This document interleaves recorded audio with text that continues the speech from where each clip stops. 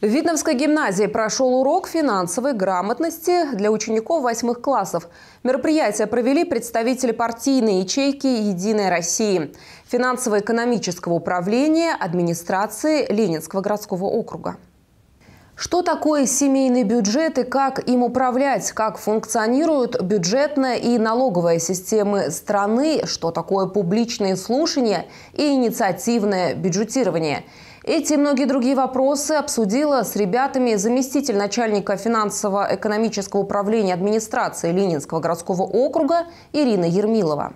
Вчера, кстати, проходили слушания об исполнении бюджета Ленинского городского округа, за 2022 год. И приходили активные жители Ленинского городского округа. Правда, очень много возражали, много вносили приложений, предложений и принимали активное участие.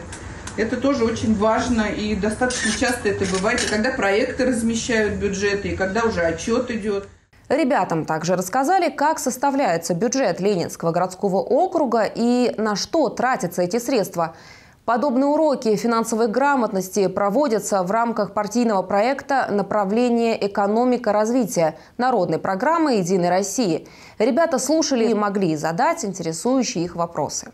Знал много нового про бюджетные распределения в нашем округе, узнал про заседания об отчетах и, в принципе, то, что они публично на них можно прийти. Узнала о том, как правильно распоряжаться своими доходами, как рассчитывать расходы, на что нужно тратить деньги, на что не нужно. В завершении мероприятия представители молодой гвардии «Единой России» раздали ребятам небольшие сувениры.